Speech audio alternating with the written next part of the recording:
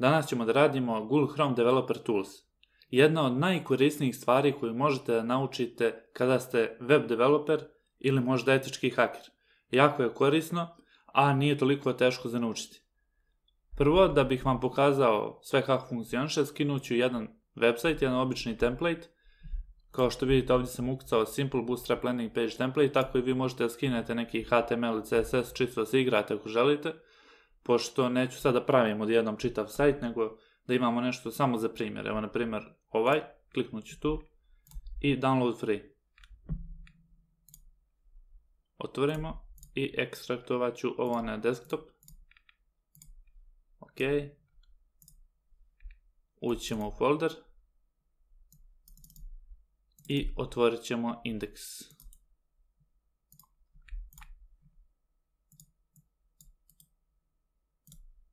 Ok, znači sad je ovo otvoreno. Imamo, vidite, tu imamo neki fini sajt kao spreman. Vidite kako se to fino ovaj, scrolluje. Kada kliknemo u meni. Šta je fora? Da otvorite Chrome Developer Tools, prisnete F12 i on će se otvoriti. Drugi način je da prisnete desni klik i Inspect. I također će se otvoriti. Ovdje imamo više ovih tabova. Ja ću vam pokazati samo neke od ovih, neću baš sve. Pokazat ću vam Elements, Console, Sources, Network i Application. Ajde da krenemo uopšteno o ovome. Prva opcija ovdje, kao što možete vidjeti, je tu neka mala strelica kada kliknemo. Možemo mišem da prelazimo preko elemenata na stranici i vidite kako su ti elementi highlightovani. Ako kliknemo recimo na ovaj element, odmah će automatski dolje da nas pozove, to jest da nam selektuje dio HTML-a koji se odnosi na taj dio na stranici. Znači to je ovdje ovaj div, evo pokušat ćemo opet, evo recimo da ćemo selektovati logo, kliknem i odmah nam dolje selektuje uh, img, to, to znači da je to ovaj, vidite tu je taj logo. Možemo i na drugi način da selektujemo elemente, tako što prelazimo mišem kroz elements ovaj tab, kroz kod odnosno i selektujemo različite elemente na stranici. Evo recimo ovaj element. Kada pređemo običnim mišem, znači bez ovoga, na about vidite da je on postaje žut. Kako mi možemo da vidimo CSS od ovog havera? Ako kliknemo na A element, tačno na About, sa desne strane vidimo Styles. Ovdje imamo čitav CSS koji je napisan za ovaj link. I ne samo za ovaj, kada pređemo mišem, vidite da se ovaj CSS, ovaj ovdje, odnosi na svih pet elemenata, odnosno linkova gore u headeru. Možemo ovo da promijenimo, evo recimo sada ću ja ovdje napišem veći font style, pritisnuo sam strelicu ka gore i on je dodao jedinicu i vidite koliko se font size povećao. Možemo da ga povećamo ovako, na primjer 9, da ga povećamo samo za malo, a možemo i da obrišemo ovo i napišemo 1,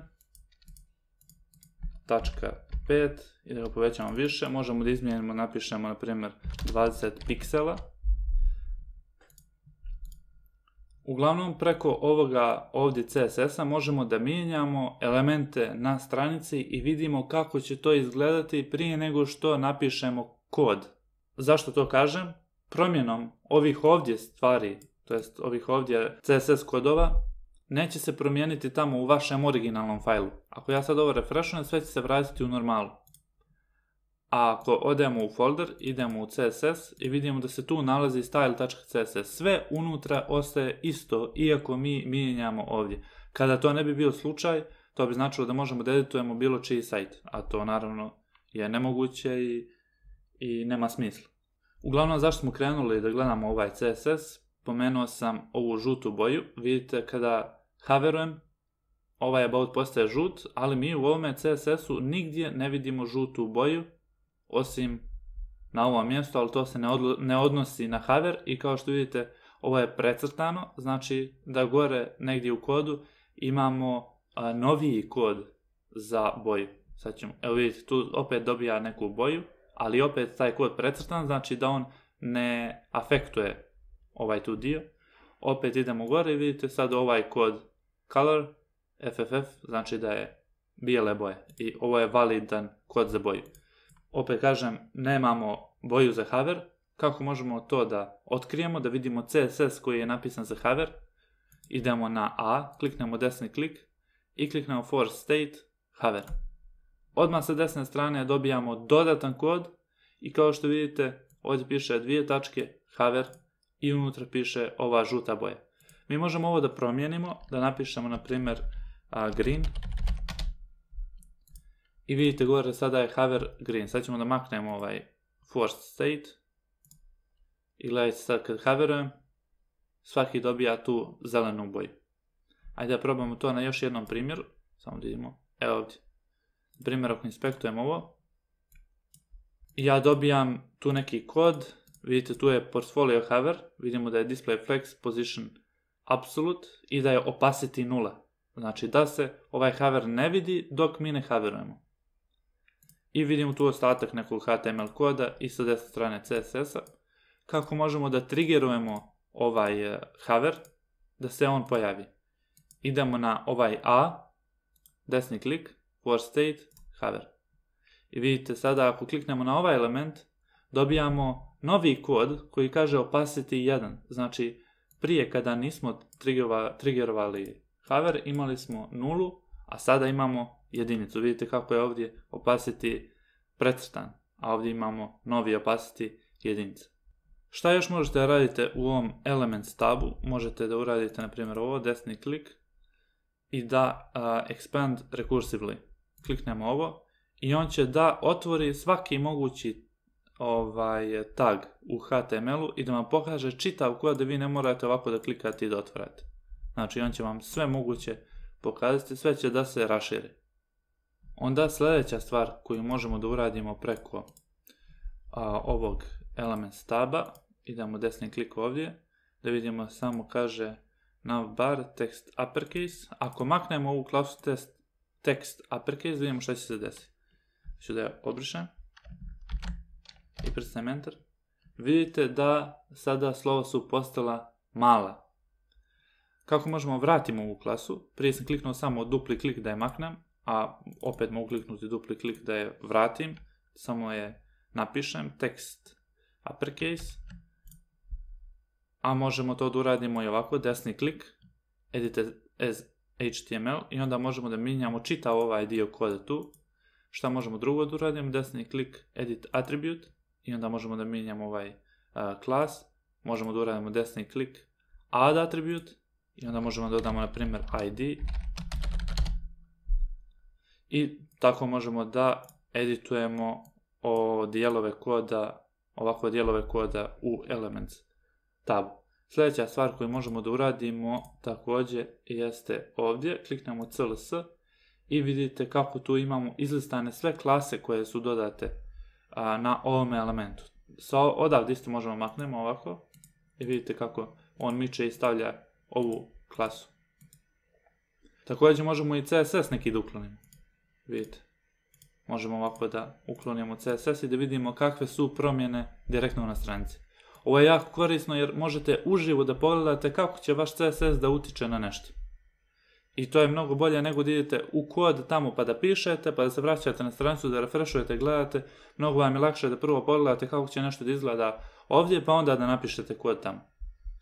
Sljedeća stvar koju možemo da uradimo jeste da samo za ovaj element, na primjer ovaj A, pošto vidimo da ovaj ovdje CSS afektuje svih ovih pet linkova, mi možemo da pišemo CSS samo za ovaj prvi na primjer ovdje u element style, možemo samo njega da promijenimo da je na primjer crvene boje.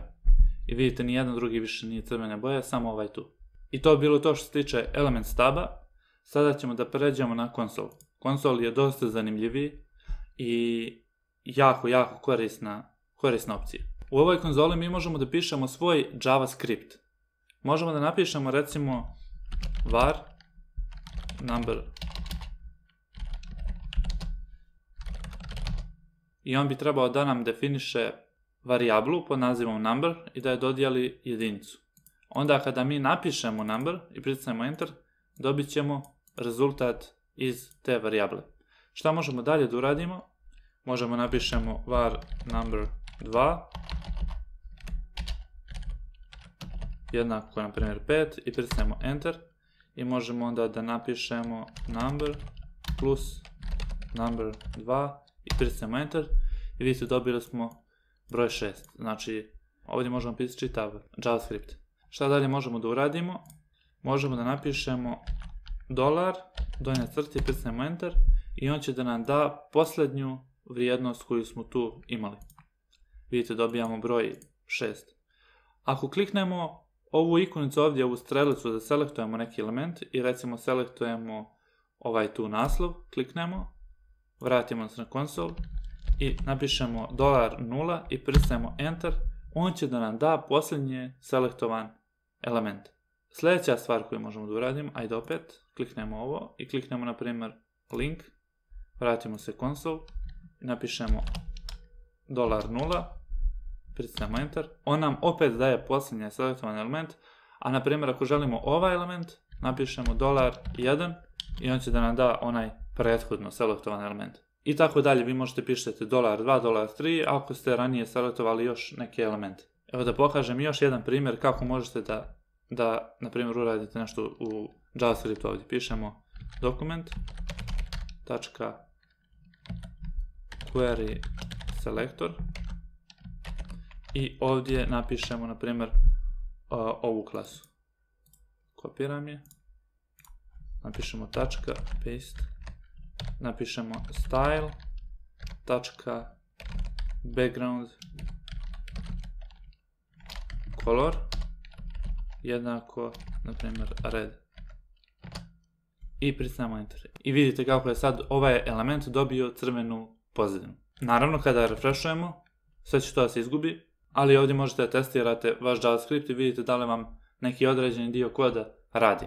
Zašto je posebno dobra ova konzola jeste ako imate neke JavaScript greške i da vidite ovaj, gdje vam se ta greška dešava i da grešku ispravite. Šta ćemo sad da uradimo?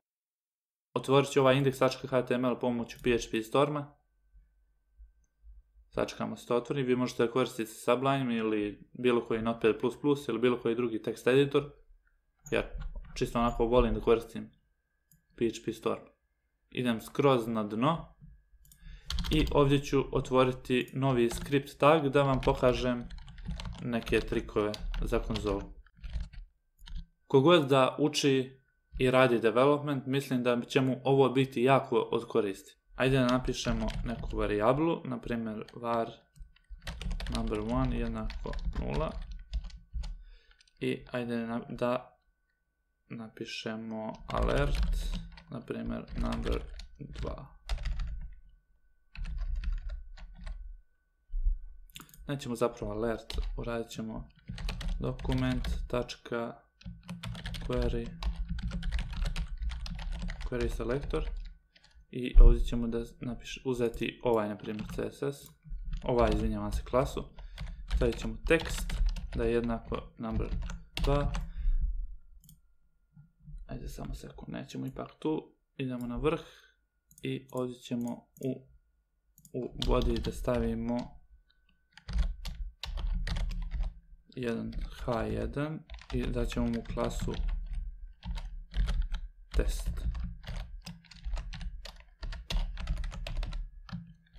I napišemo up test. Idemo dolje.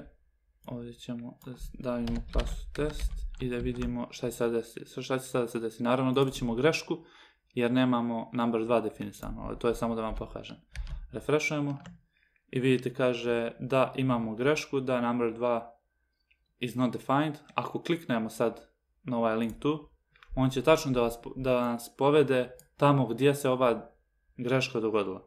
I zbog toga je jako korisno pogledati konzolu kada vam JavaScript iz nekog razloga ne radi, jer će da vam ukaže na grešku. Evo sad ćemo ovaj number da stavimo tu i da refreshujemo stranicu. I vidite, greška je nestala. Dobro, tekst se nije promijenio, to ćemo da vidimo zašto. Idemo nazad. Ovaj treba napišemo tekst content.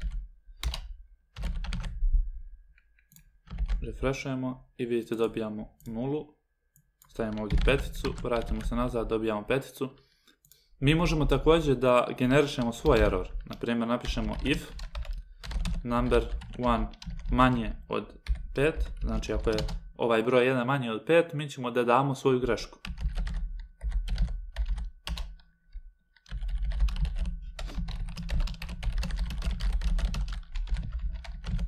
I vidite sad, ovdje smo napisali console.error, znači da u konzoli ispišemo ovaj error. Kada refreshujemo, ne dobijamo nikakvu grešku zato što broj nije manji od 5.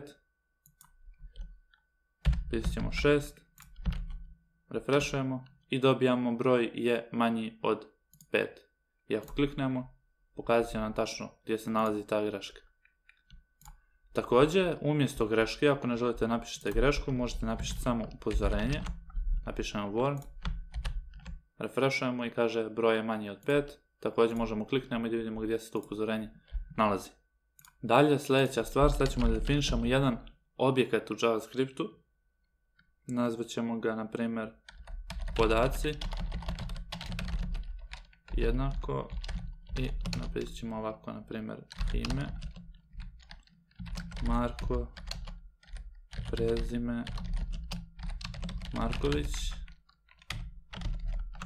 Napišemo godine 23 i sada ćemo da ove podatke ispišemo u konzoli. Pišemo console.log i napišemo unutra podaci.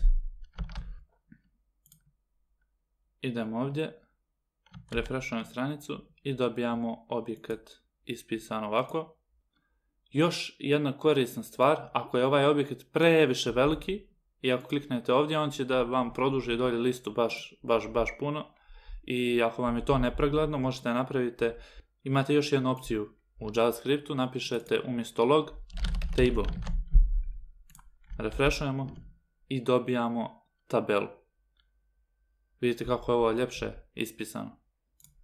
Ako dodamo ovdje ovako, i refreshujemo, dobit ćemo tabelu na ovaj način. Znači, ne znam da li ste primijetili, sada imamo gore ove nazive kao kolona, a dolje imamo vrijednosti, a prije smo imali, prije smo imali ovako. Samo smo imali s lijeve strane kao nazive i sa desne strane smo imali vrijednosti. Sad na vama je šta vam više odgovara. Još jedna stvar koju ću da vam pokažem jeste ovdje, ako imate puno upozorenja i grešaka, možete da ih isključite.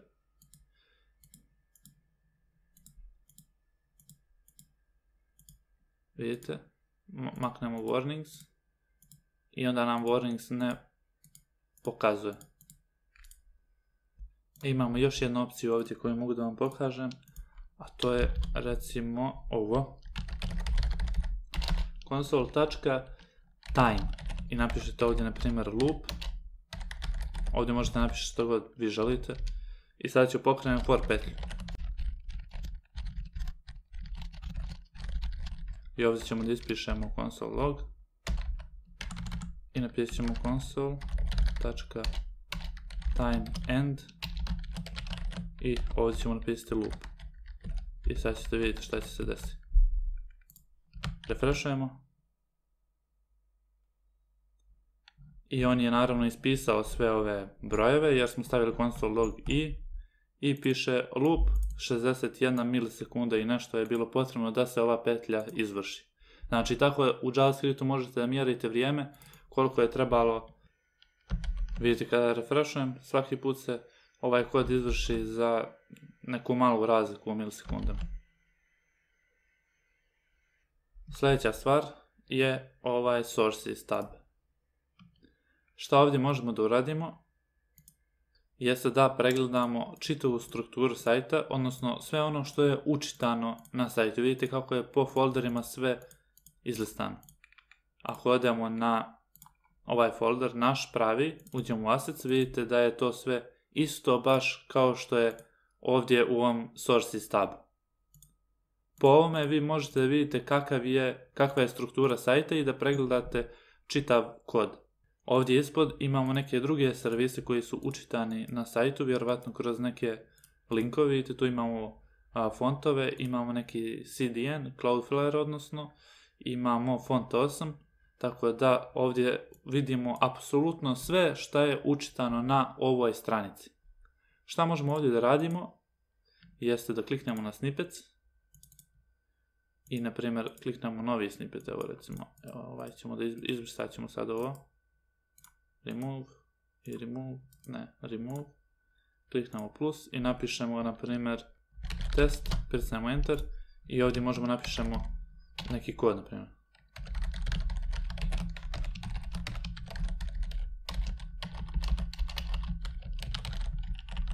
Sačuvamo Ctrl S, možemo kliknemo desni klik i run i odemo tu i kaže snippet radi. Znači tu možete testirati, napišete neki JavaScript kod i da istestirate da li vam to nešto radi sad ovdje na sajtu. Vidjeli smo da u Elements možemo da mijenjamo i HTML i CSS, ali on ne ostaje sačuvan. To možemo promijeniti pomoću Sources taba. Možemo ovdje kliknemo, idemo File System i ovdje kliknemo desni klik i napišemo Add folder to workspace. Idemo na desktop, selektujemo ovaj folder i pritisnemo Select folder. Pritisnemo Allow i sada imamo sav sadržaj iz onog foldera i možemo da ga mijenjamo. Evo na primjer ako ovdje umjesto Marko napišemo Nikola i ovdje napišemo Nikolić i ovdje napišemo 30 i pristanemo Ctrl S i odemo u kod editor. Ovo treba da samo sekund ugasimo. Da ga pokrenemo opet.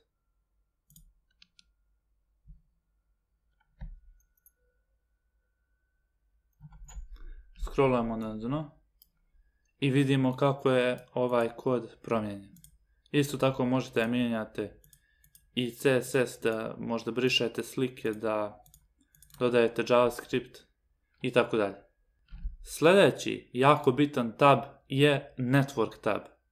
Ali ovaj tab ću da vam pokažem na drugom sajtu. Ugasit ću ovo i ovo i ovaj Network tab ću vam pokazati na ovome sajtu.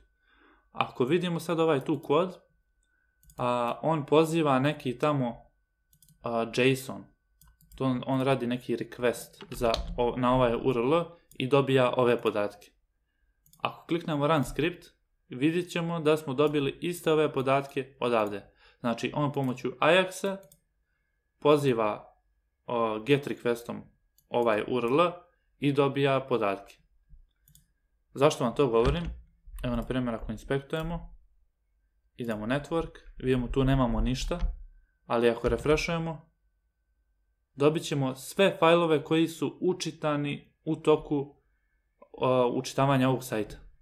Znači dobijamo baš sve od malih sličica, skripti, HTML-a, dobijamo baš sve i ovdje možete vidjeti tip onoga što je učitano, vidite tu je skript, tu je slika, imamo SVG, PNG, style sheet, imamo dokument, ovo je zapravo HTML.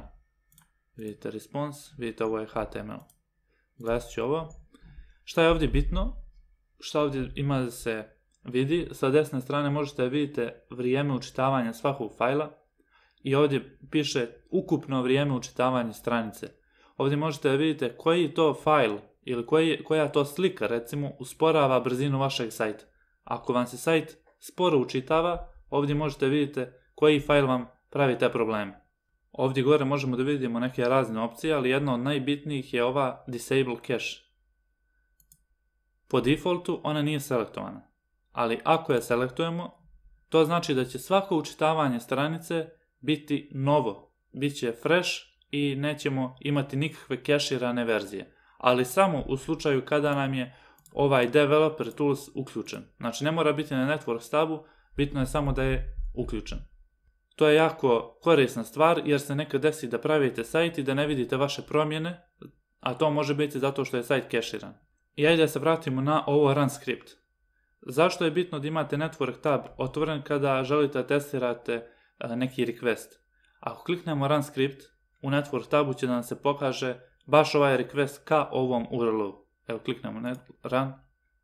I vidite kada se ovo ovdje pokazalo i tu nam je iskočio ovaj i ova jedinica tu. Ako kliknemo, vidimo da je ovo request metod get. Request URL, dobijamo ovaj URL i vidite na koju IP adresu je otišao ovaj request. Ako kliknemo preview, dobit ćemo one podatke. Ako kliknemo response, dobit ćemo ono što je ovaj URL vratio. Znači ovdje isto možemo pogledamo e, još neke parametre vezane za ovaj request.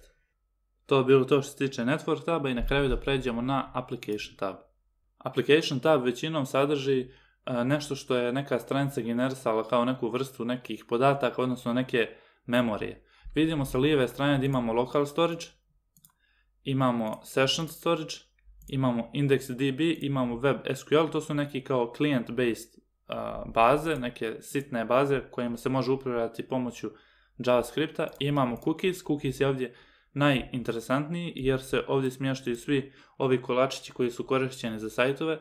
Recimo, ako se ulogujete na neki sajt, vi ćete imati ovdje vaš taj cookie zapisan i ako neko sad dođe i otvori, otvori nam ovu application, inspektuje, vidi koji vam je cookie, na primjer slika ga, može na svoj laptop da prepiše taj cookie i da uđe da se ulukuje na vaš neki nalog, recimo ne znam na Facebook ili tako nešto. Ako ste na nekom sajtu, recimo Udemy, to se često dešava, ili na GoDaddy, dobijete, na primjer, neki popust i sad vi uđete, vidite, a, sutra ću to da vidim, sutra dođete na sajt, vidite, više nema popusta. Znači, vjerovatno vam je on upisao neki cookie ili upisao vam je neke podatke. Ovdje zapamtio vas i, i rekao je ovaj je dolazio, ponudili smo mu popust, nije htio, više mu nećemo nuditi popust. Ali ti, ali ti ipak želiš opet popust, možda klikneš clear storage i clear site data i refreshuješ stranicu i najvjerovatnije ćeš opet, opet imati taj popust. Isto tako ako želiš sa nekog sajta da se izloguješ, a da ne ideš ono klasično na logout, isto klikneš clear storage i klikneš clear site data i to je to i više neće biti nikakvih podataka sačuvanih u vašem browseru od ovoga sajta. E, zaboravio sam još jednu stvar da vam pokažem. Vratit ćemo se na Elements. Sa desne strane imamo ove tri tačke. Možemo da premistimo ovaj DevTools da stoji gdje mi želimo. Evo recimo na desnoj strani. Sad ćemo ovo da smanjimo. Šta možemo da uradimo? Da kliknemo ovu ovdje ikonicu i da dobijemo ovaj tu prozor i gore možemo da klikamo na veličinu uređaja. Recimo imamo Mobile S, Mobile M i Mobile L. Kliknemo na primjer L, S, to jest M, S i gore se mijenja širina i možete vidjeti kako vaš sajt izgleda na različitim uređajima, odnosno na različitim veličinama ekrana. Ovo možete također ovako da pomjerate, a možete i kliknete ovdje responsive i da odaberete neki od ovih ponuđenih uređaja, na primjer iPhone X i vidite on ima širinu 375 i visinu 812 i možete vidjeti kako vaš sajt izgleda baš na tom uređaju. I to je bilo to što se tiče ovog videa, nadam se da vas svidio, ovo može biti jako korisno, tako da provježbajte ovo ako planirate se bavite web developmentom ili možda etičkim hakovanjem. Pozdrav!